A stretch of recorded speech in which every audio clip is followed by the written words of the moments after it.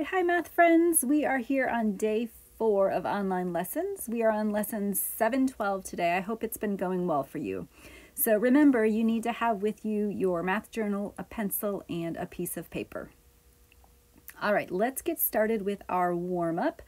You will need your piece of paper to write down the answer to these dividing equally questions. So we are breaking apart groups equally and you're determining how many each person would get.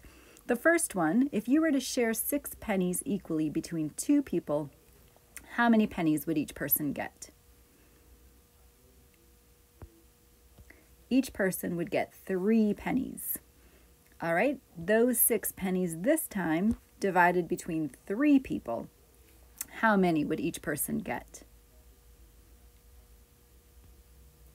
Each person would get two pennies. And finally, if those six pennies were only divided among one person, how many would that person get? Of course, that's kind of silly. That person would get all six pennies. All right, let's do a few more. This time, instead of six, we are going to share 12 pennies equally. And for the first one, 12 shared equally among two people. Each person would get six pennies. If those 12 pennies were shared among three people, how many pennies would each person get? 12 divided by 3 equally is 4. And then finally, 12 pennies divided equally among, it's not wanting to slide, among six people. 12 pennies among six people each person would get two pennies. We have three more to go, and this time instead of 12 pennies, we have 20 pennies. If you were to share 20 pennies between two people, how many would each person get? They would get 10. A little trickier this time. If we were to share 20 pennies among three people, if I were to think about this and want to show my thinking, I might draw my three people, as we do, and then pass out 20 pennies equally. Let's do that together. One, two, three, four, five, six, seven, eight, nine, 10, 11, 12, 13, 14, 15, 16, 17, 18, uh-oh, 19, 20 isn't enough to pass out equally. So I'm going to have these two left over. So I can see that each person has six pennies and there are two left over. So my answer would be that each person gets six pennies with two left over. Let me erase. All right. Finally, what if those 20 pennies were shared among nine people? 20 pennies shared among nine people. If it helps you, you can do the same thing about drawing out your thinking, except this time instead of three people, we're going to pass out to nine. So one, two, three, four, five, six, seven, eight, nine people. And we're still passing out 20. Here we go.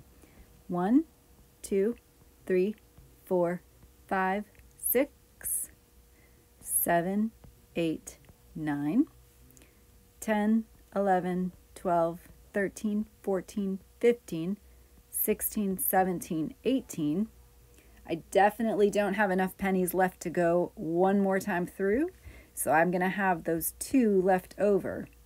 Then I can see that each person has two pennies and there are two left over. So the answer would be two pennies each with two left over. Another way that we sometimes write that is two remainder two. All right, you're still going to need paper for the next exercise. So if you need to pause and grab another sheet, go ahead and do that and come on back. Or if you have room on the back, go ahead and flip your paper over. All right, we have been talking about fractions as one whole being either maybe a whole fraction circle or a number line between 0 and 1 or a whole fraction strip. And today's lesson switches our thinking a little bit. We're going to be thinking of fractions as part of a collection of things. So let's look at this first example together and um, I'll ask you to work it out on your paper. It says, Jules has a stamp collection with 12 stamps. She puts half of her stamps on one page and half on another page. How many stamps are on each page? You could use counters or drawings to help. Go ahead and work on your piece of paper to figure out how many stamps on each page.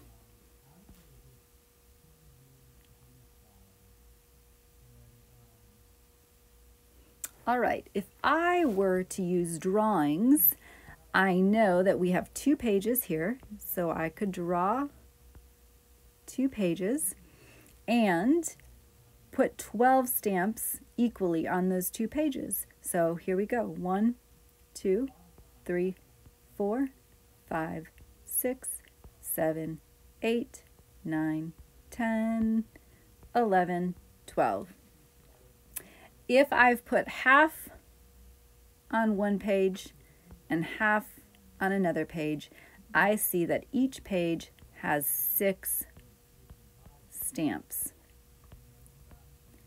Another way that I could say that is 6 out of all 12 stamps is on each page, which is the same as 1 half being on each page.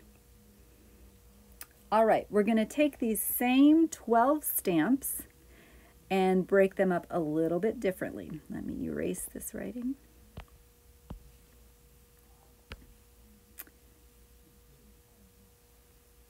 All right, if we instead have these 12 stamps and we want to divide them equally this time among three pages, how many would be on each page?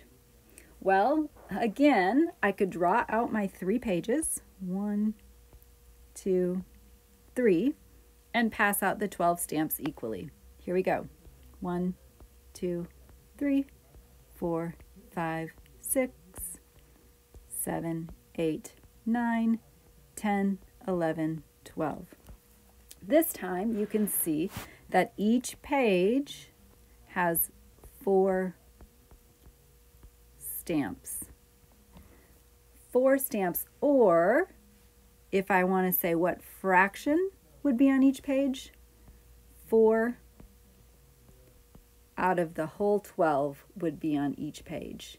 The same thing as if we look at this one, two, three as the whole, one of these out of all three of the pages.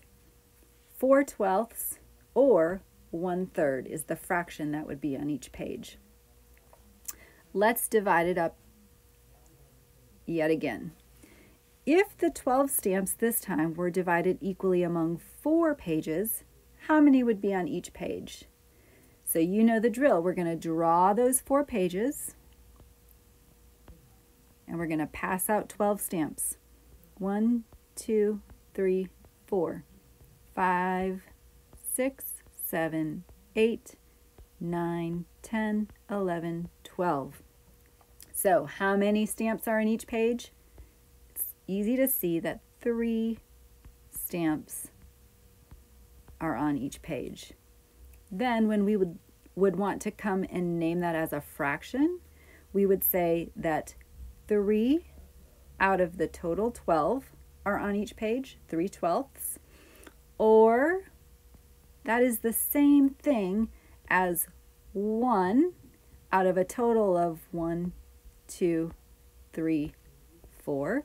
So we could also name that fraction as one fourth. One fourth of the stamps would be on each page. All right, would you please get out your journal now and hit pause if you need to, but go ahead and open up to journal page 249. 249. All right, it says solving number stories using collections. It obviously right here says solve. You can use counters and draw pictures to help. Let's do the first one together and then you're going to finish this page on your own. Number one, it says two people share a collection of eight pennies equally. How many pennies does each person get? Using our same method, we're going to draw those two people and this time we're passing out eight pennies equally. So let's do that. One, two, three, four, five, six, seven, eight. And you can see that each person gets four pennies. Then the next question is what fraction of the pennies does each person get? The fraction is each person gets, oh, so sorry. Each person gets four eighths, four out of eight, or that is the same thing. You can write it either way as one half, meaning they get all of this out of two of them. Either fraction, four eighths or one half, is correct, and you can write it either way. All right, your job today, oh, silly. Your job today is to finish this page, Math Journal page 249, and then move on as usual to math boxes. So today it's math boxes 7.12 and HomeLink, maybe you want to save it till this afternoon, HomeLink 7.12 as well. Always, your parents can email me if you have any questions, um, and I look forward to seeing you soon. Good luck, friends. Bye.